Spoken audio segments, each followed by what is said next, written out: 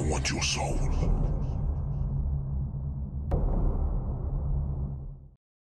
I've been in and out of prisons and jails ever since I was 17.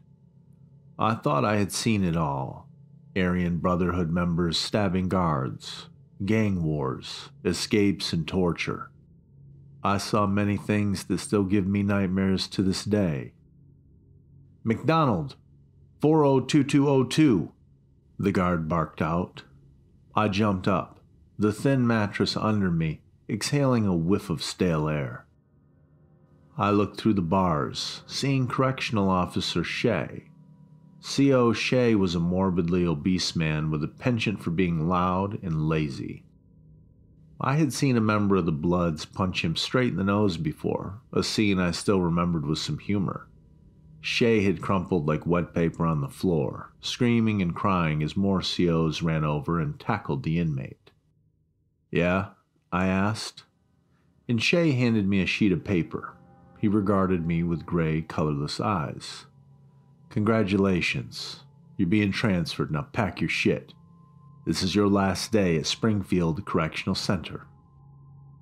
You might think I would be happy to get a transfer. SCC was, after all, a total fucking shithole. The food was terrible and always cold.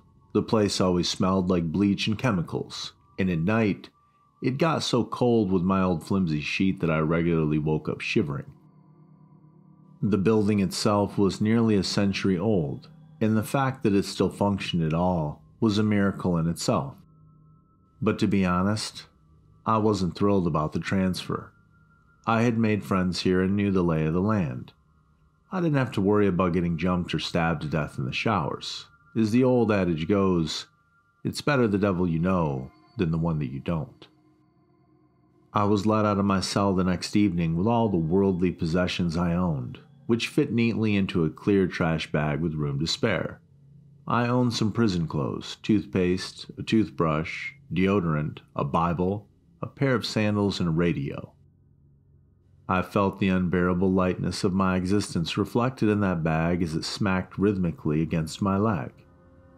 Good luck, Josh, a rather insane acquaintance of mine named Alvin called out from his cell as I passed down the bleak concrete hallway. Take care, man. I hope we meet again on the outside. I said, waving, knowing that I would almost certainly never see any of these people again. Hell, I hadn't even seen my own family in over five years now.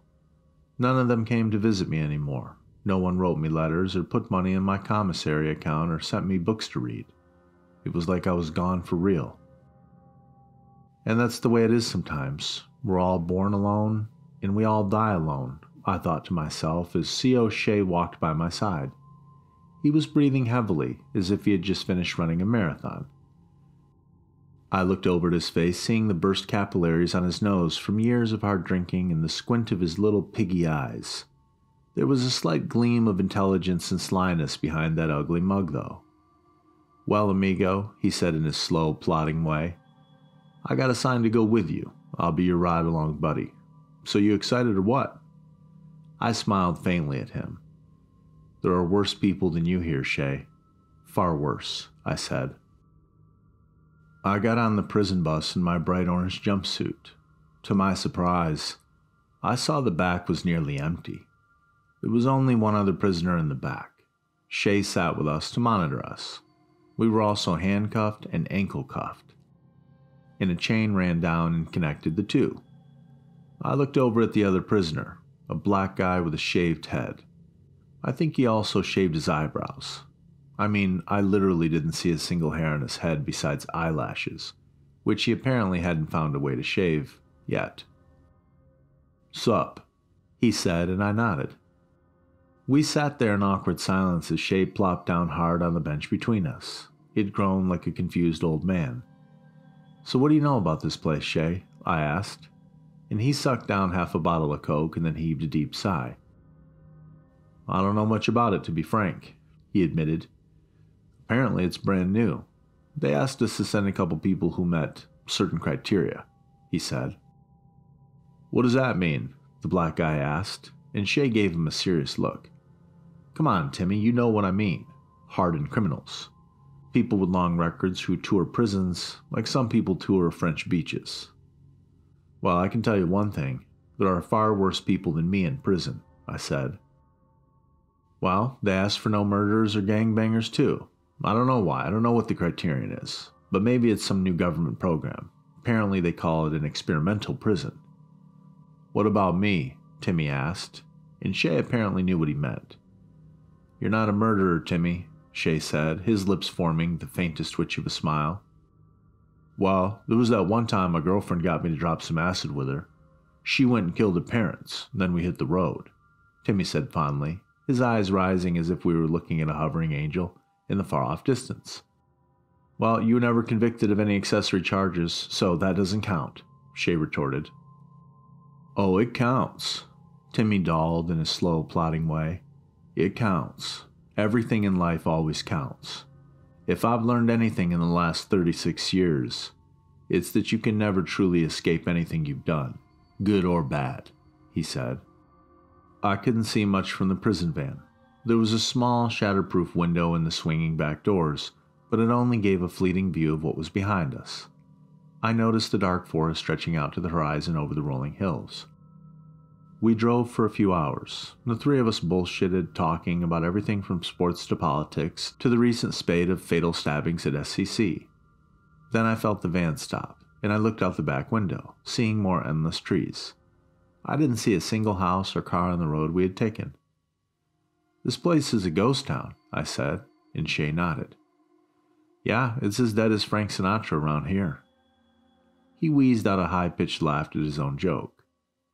This area used to be big for coal mining, but as it dried up and people lost their jobs, they moved away. You know, come to think of it, my grandfather was a coal miner. Good place to build a prison, huh? Timmy asked. If there's nobody around, then. We were then cut off by a clanging alarm up ahead. I had heard something large moving, probably the gate opening and then we drove inside. I saw the guard towers and rolls of razor wire for a brief moment as the van pulled into an open garage. The darkness immediately blanketed us. The garage door slowly rolled shut behind us and Shay jumped up. Let's get you boys inside so I can take off your handcuffs and everything, he said, motioning for us to follow. He then pulled out a flashlight from his belt, guiding us through the pitch black darkness. The dim light sent shadows racing across the room like groping tentacles. I caught glimpses of strange objects in the darkness, and they looked like medieval torture devices, which was very odd. Those look like torture devices on that table, Shay. I think those bloody things are thumb screws, and that might be a pear of anguish. My voice trailed off, and I pointed to the pear shaped object with three wicked blades whose points came together sitting on a dusty shelf. The ornate handle had springs connected to it. The object could be forced into any human orifice, and when the springs were engaged, it would open like a flower inside the person's body, ripping their flesh apart and enlarging that orifice to a bloody, gaping hole. How do you know so much about this? Shay asked, giving me a strange look. He narrowed his little piggy eyes. He continued to fumble with the flashlight, peering around for a door to exit the garage. I looked back at the car and saw the driver just sitting there, his entire body as lifeless and still as a mannequin. Me? I've read a few books, I said as Timmy interrupted us. I see a little red light glowing under that door, he said, and Shay focused his flashlight on the spot. Across the room, I noticed what Timmy was pointing at. It was an ancient looking black door. The wood had started to crack and splinter down the middle. Engraved in silver on the front, it said, Entrance to North Frost Penitentiary. Hello? Is anybody there? Shay called toward the door as the three of us moved forward, the steel chains giving my steps a clinking rhythm. Shay reached the antique crystal doorknob, and Timmy and I stood next to a dust covered brazen bull, its bronze mouth wide open as if it were silently roaring at us. As Shay pulled open the door, crimson light flooded into the garage. Tinted black glass covered the back wall. A speaker button sat next to the window, and I looked to my right, seeing a massive sign sprawled across the wall there. In it read, Rules for Conduct at North Frost Penitentiary. Rule number one The COs without faces don't work here, and we don't know who they are. If you see one, press one of the buttons labeled Emergency Dispatch that are scattered around the complex. Rule number two when the red emergency lights come on, hide until they shut off. Rule number three do not enter into the medical ward for any reason. It does not matter if you need medical attention or not. Rule number 4. The warden roams the prison every night at 3:33 a.m. looking for human meat. Do not let him catch you. What the fuck is this? A goddamn joke? Timmy asked, his dark face forming into a scowl. Uh, yeah, I'm not sure. Shay rubbed the back of his neck, looking like an obese little boy who lost his parents.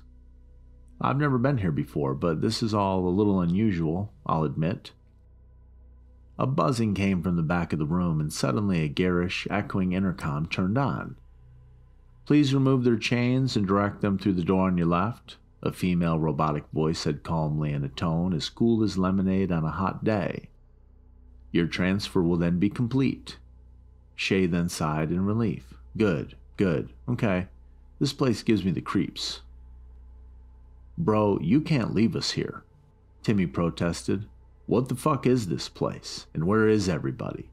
And why the fuck is there a room filled with bloody ancient torture devices next to the garage? Shay then put up his hands.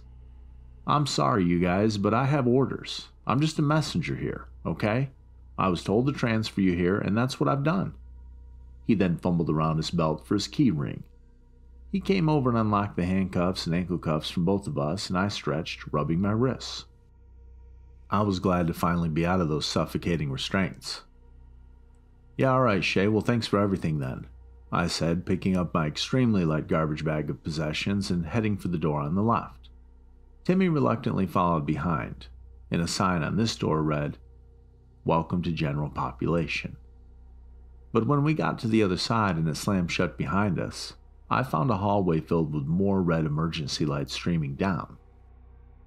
An involuntary shiver ran through my body. I remembered those absurd rules that somebody had put up. What had it said about red lights? My mind raced for a few moments and then the answer popped up. It said to hide. I then heard a man shrieking up ahead, his voice riddled with agony and terror. The hallway split to the right and left, and I couldn't see anyone. And Timmy and I stopped. Dude, fuck this, Timmy said, turning and running back toward the door we had come through. He tried pulling it open, but it was firmly locked. The scream came again, louder and closer, but this time it was cut off suddenly. I heard somebody gurgling like a man with a slit throat trying to breathe, and then everything went deathly silent again. The gray concrete floor of the hallway had arrows pointing forward on it. There were no doors here. There was nowhere to hide that I could see. Timmy and I reluctantly went forward. As we got to the intersection, we saw the dead body of a man in a brown khaki uniform. His sightless eyes remained open, they stared up at the ceiling, glassy and still filled with horror. Deep gouge marks bit deeply into the flesh on his back and arms and chest. His throat had been cut or bit open as well, and a spreading puddle of blood encircled his body. I saw a dark blur at the end of the hallway on the right. It looked a little more like a shadow. I whispered to Timmy, pointing, and we decided to go left immediately. My heart was pounding at this point, and I felt like a soldier walking through the no man's land of a war zone. I was expecting an attack to come at any moment. The hallway to the left had some doors at it, and I sprinted forward as quietly as I could with Timmy close by my side. I read the first door and it said, To medical ward. Uh, no, we're not doing that, I whispered, moving on to the second one. Then I heard light footsteps behind me. Turning, I saw a creature from a nightmare sneaking up on us in the bloody glow of the emergency lights. Its skin was black and shiny like that of a centipede's. I was shocked looking at it. In its general form, it reminded me of a hairless werewolf, and it towered over us, its eyes like bone white cataracts, its claws as long and sharp as a dagger. And yet its face seemed almost reptilian. It had two small nose holes like a snake in a jaw that unhinged and dropped far below its head. I saw rows of blood soaked fangs. It gave off a low, gurgling growl that emanated from its chest. With a rush of adrenaline and a sense of mortal terror, I pushed through the second door without reading the sign on the front. Timmy was right behind me, and I heard him screaming as he fell into me. I suddenly found myself in a prison dormitory, and we weren't alone. As I hit the ground, I saw a white face peering out at me from behind the bunk bed. The man hiding there saw the abomination behind us and got up, screaming and running away. The creature growled, giving chase after us, and in two powerful bounds, it had rushed across the dormitory and grabbed the man by the neck. I looked back at Timmy in awe, seeing him groaning on the ground. Blood poured from deep cuts on his back, and I grabbed him, pulling him up quickly Let's go, let's go, let's go, no time. My voice was then cut off by the sound of a neck snapping. I looked back, seeing the creature had twisted the man's head around in a circle, and it raised the limp body to its massive mouth and severed the head in a single powerful bite. We need to get the fuck out of here, man, please, Timmy whispered as I pulled him back out into the hallway. I looked over, seeing another werewolf creature bounding down the hallway, chasing a man in a prison jumpsuit and I knew I had no choice. I pulled Timmy toward the door labeled medical ward, and with the creak of rusted hinges, it opened, and we went inside to hide.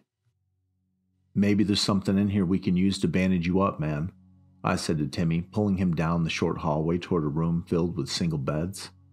I didn't know why the rules said to avoid this place. It looked totally empty. Against the back wall, I saw a glass cabinet filled with bandages, rubbing alcohol, band aids, and other various first aid supplies. I ran toward it, and Timmy limped along after me, still groaning. God damn, man, I think those claws went down to the bone, he said. It's going to be all right. I pulled out some antiseptic and bandages, adding, It could have been a lot worse. And the universe would immediately prove me right. I heard a slight giggling from under one of the beds, and Timmy and I both froze when we heard it. Two rotted hands reached out, dragging the mutilated body of a little girl behind them. She had patches of garish black stitches running across her face, hands, and arms. Dark clotted blood dripped from the sites, and she wore a gore smeared hospital gown with no eyes. I looked into her empty sockets, and they stared back at me like two black holes spinning in the void. As she rose to her feet, her giggles became full blown laughter, a hysterical gurgling like the laugh of a dying person, and then she ran at me. I saw the silver gleam of a scalpel in her little hand, and she was on a murderous rampage. I screamed, raising my hands to protect myself, but the scalpel came down, slicing across my palm. It cut me deeply, burning, and a cold pain ran up my arm. I repressed the urge to scream, but I was totally terrified.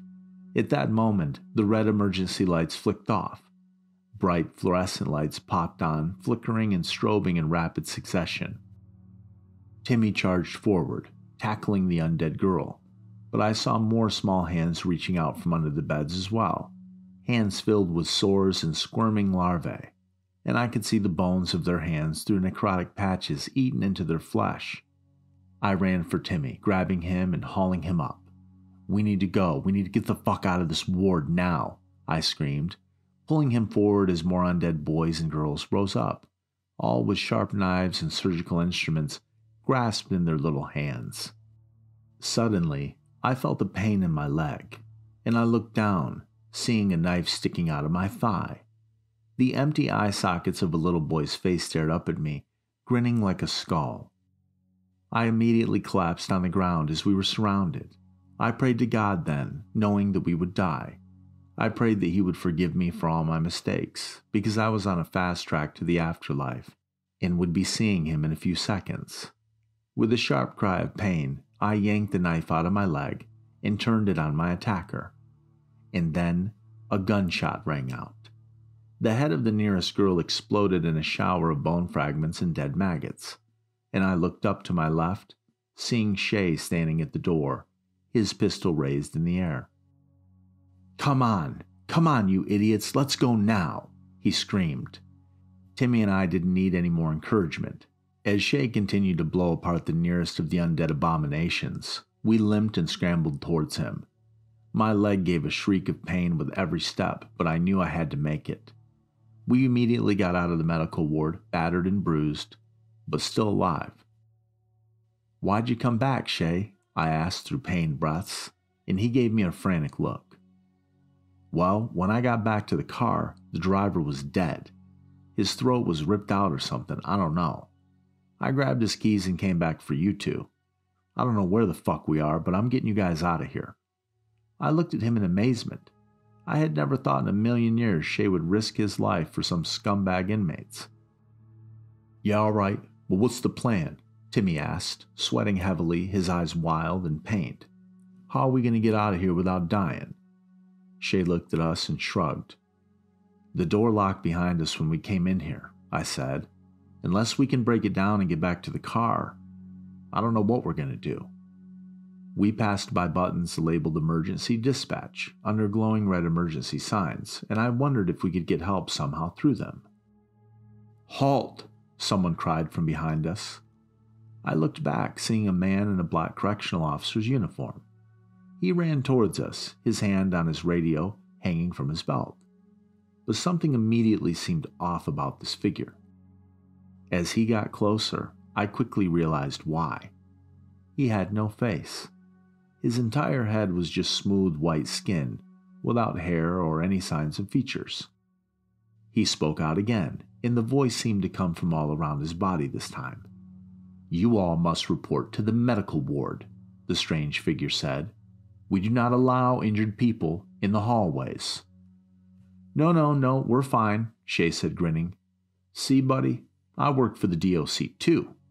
And he pointed at the identification clip to his breast pocket. The figure then raised his radio to his lips. We have resistance near Dormitory 1, the fake CO said into his radio before any of us could stop him. Shay then ran forward, knocking the radio from his hand, and the CO instantly straightened up and whipped out his pistol, pointing it at Shay's torso. He fired, and I saw Shay's chest explode in a blossoming flower of blood. Timmy was screaming now, running forward, and I saw a silver gleam in his hand and realized he had taken one of the scalpels from the undead Shay had killed in the medical ward as well. As the fake CO spun to point the pistol at Timmy, he ran into him, stabbing the scalpel deeply into the CO's neck. They fell together with Timmy on top of him. His body weight drove the scalpel deeper into the white, featureless skin. Blood the color of soot spurted from the wound. The gun went off, the bullet missing Timmy entirely and smashing into the ceiling. The CO then started gurgling death gasps, and I grabbed Timmy. Get the guns, I said. They're both dead, and we need their guns. He nodded at me, grabbing the CO's gun and taking an extra magazine from his belt. I did the same with Shay's gun and magazine. I pressed the button labeled emergency dispatch as more faceless men appeared far off down the corridor. Then we fled as fast as we could from that hallway, but Seeing as we were both in pretty bad shape, it wasn't very fast. At that point, though, I was just glad to be alive. We wandered around the hell prison, avoiding the faceless COs wherever we saw them patrolling the hallways.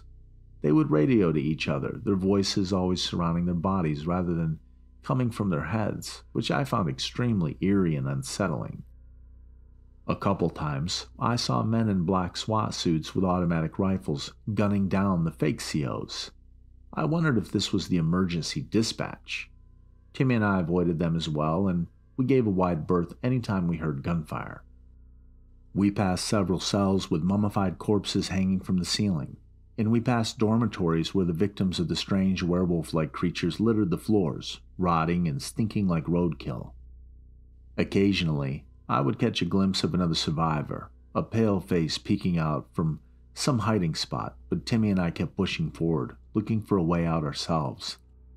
Eventually, we wound up in a sprawling gymnasium, sitting down and resting for a few minutes, when we finally encountered the warden. He came in the form of a demonic roar from the hallway, a mixing of many strange and human tongues. As Timmy and I sat up quickly, a decapitated body flew into the gym, and a creature from hell followed after it.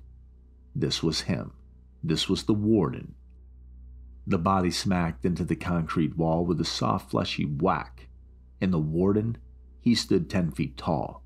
He had on a black correctional officer's uniform and a leather visor cap. His face looked like it had no flesh, only a thick layer of bone covered it with two reptilian eyes peering out from behind slitted pupils. He hissed, a forked tongue shooting out from his gaping maw, and his fingers looked like sharp daggers of bone. A smell like old leather and blood rose from his body. Shoot that motherfucker, I screamed, raising the pistol and firing at its head. The first shot blew off its visor cap, revealing the hairless reptilian skull underneath. But the bullet only gouged the top of its skull, and it ran at us with powerful bounding steps, covering the distance in moments.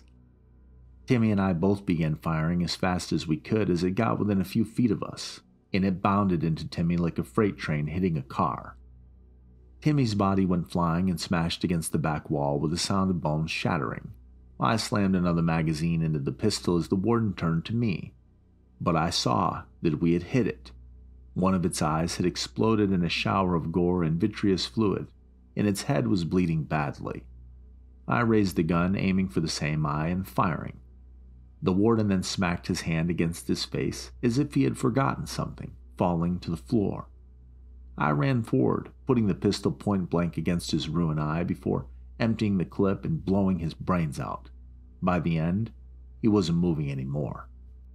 Oh, God, man, you look like shit, I said, walking over to Timmy. I saw his shattered legs, his broken spine, and his snapped ribs, and he was coughing up blood. I'm sorry, man, I really am, I said. I saw his head nod slightly as he died, giving a final death gasp before falling still. I went back to the warden and I found a ring of keys on his body. In excitement, I ran downstairs and tried the locked door, and it worked. I went into the parking structure and grabbed the van, pulling out the dead driver and starting it up. After smashing through the garage door, I drove it out through the gate. It did catastrophic damage to the prison van, but it got me far enough away before the engine gave out. I'm walking down the highway right now, and I don't know what that kind of prison was, but I hope I never see that hellscape again. And from here on out, I ain't going back. I'm on the run.